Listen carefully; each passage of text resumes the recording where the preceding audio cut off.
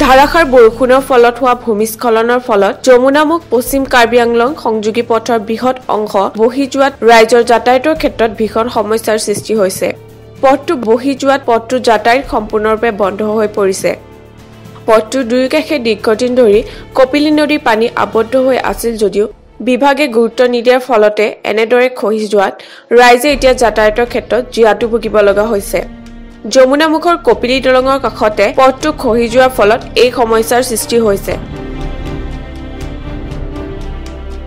কামপুৰৰ পৰা bureau' report Nation Talks twenty four.